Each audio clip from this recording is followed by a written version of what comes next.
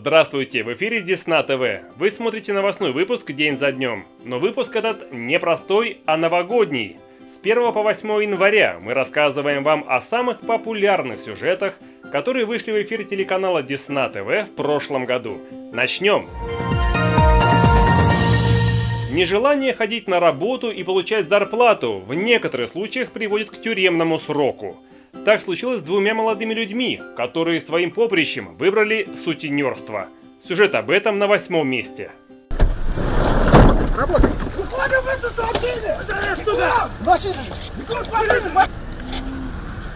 Цену любви хорошо знают эти два молодых человека из Смоленска. Они подыскивали девушек из различных регионов России и обещали им высокооплачиваемую работу. При этом сфера оказания интим-услуг отпугивала далеко не всех. Сутенеров и их работниц задержали в разгар рабочего дня по пути из сауны. При этом свою вину молодые люди признавать не спешили. За что задержан?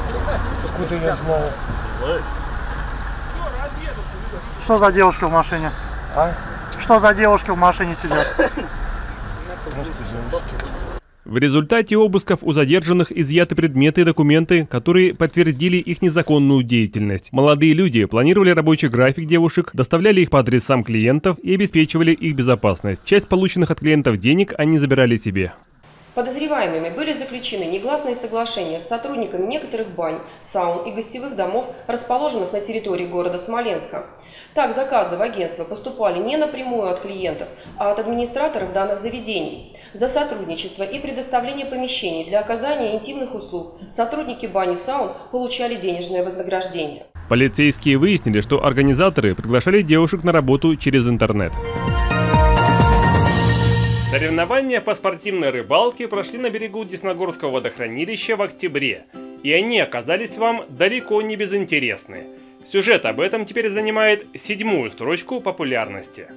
Ловля на донную удочку, или как ее еще называют фидер, это тихий, спокойный и где-то даже философский метод рыбалки. Он является одним из древнейших и эффективных способов ловли рыбы на значительном расстоянии от берега. В Десногорске ловля на фидер все больше набирает популярность, а местное водохранилище как нельзя лучше подходит для такого рода рыбалки.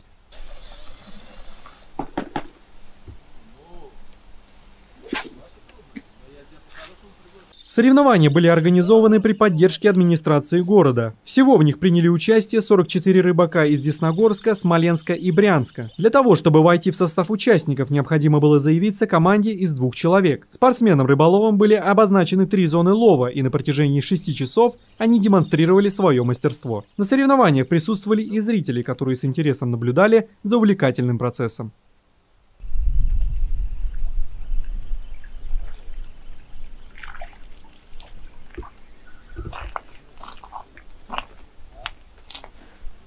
Все участники отметили хорошую организацию соревнований и выразили надежду, что такие мероприятия будут проводиться чаще.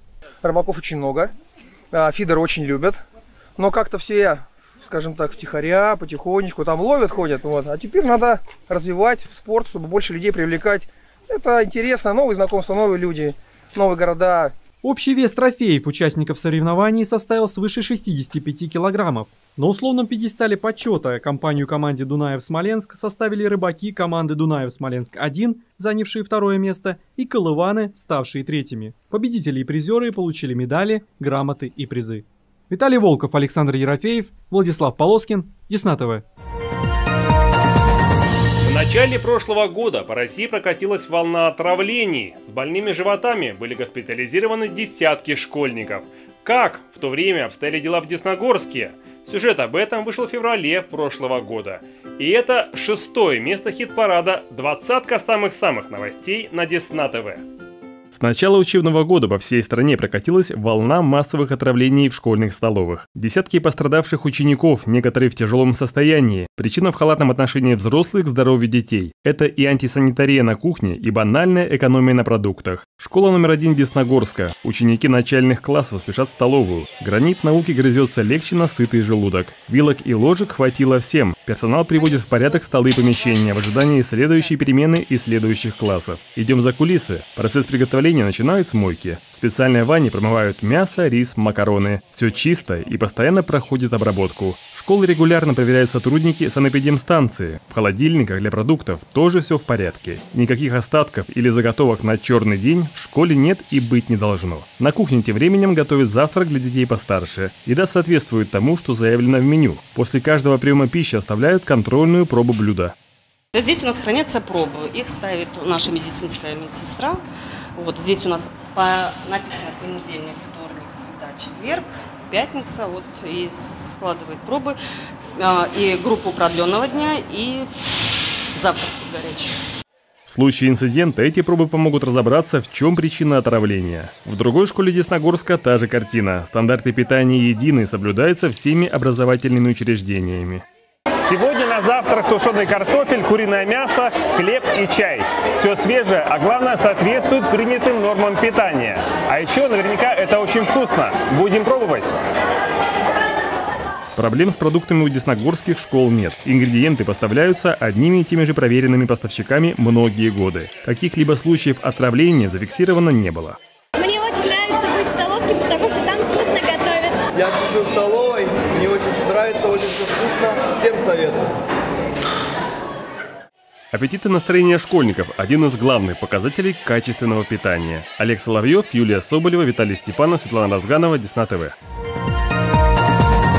Двадцатка самых-самых. Хит-парад самых популярных сюжетов на Десна ТВ за прошлый год. Завтра мы продолжим выяснять, какие из них были вам наиболее интересны. Хорошего вам настроения. Увидимся!